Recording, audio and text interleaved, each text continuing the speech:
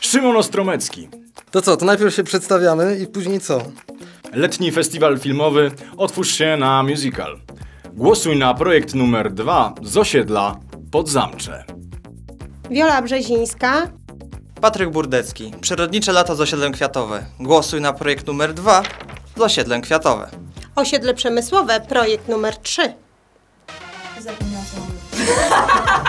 Gotuj się, gotuj się na głos, gotuj się na głosowanie. Gotuj się na głosowanie. Magdalena Jabłońska. Patrycja Wiśniewska. Muzyczne lato. Śródmieście. Aleksandrówka.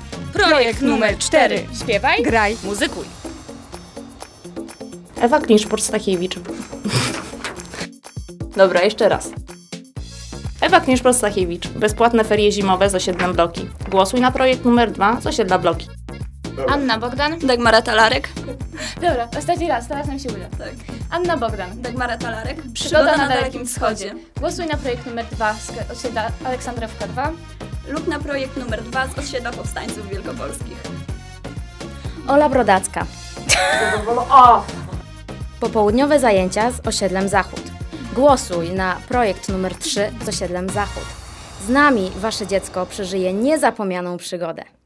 Sześć. Trzy, Sześć. trzy, Sześć. trzy, trzy.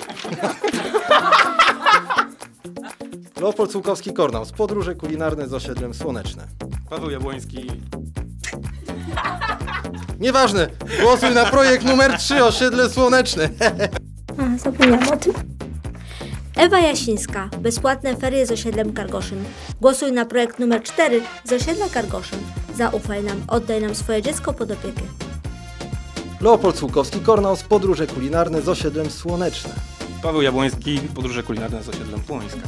Gotuj się na głosowanie na projekt numer 3 osiedle Słoneczne. Głosuj na projekt numer 6 z osiedla Płońska. Budżet Obywatelski 2016. Oddaj swój głos na bezpłatne zajęcia dla dzieci. I Jestem bardzo zadowolony z pracy i wynagrodzenia. Dziękuję. Znaczy i tak puścisz mi, jak to wyszło.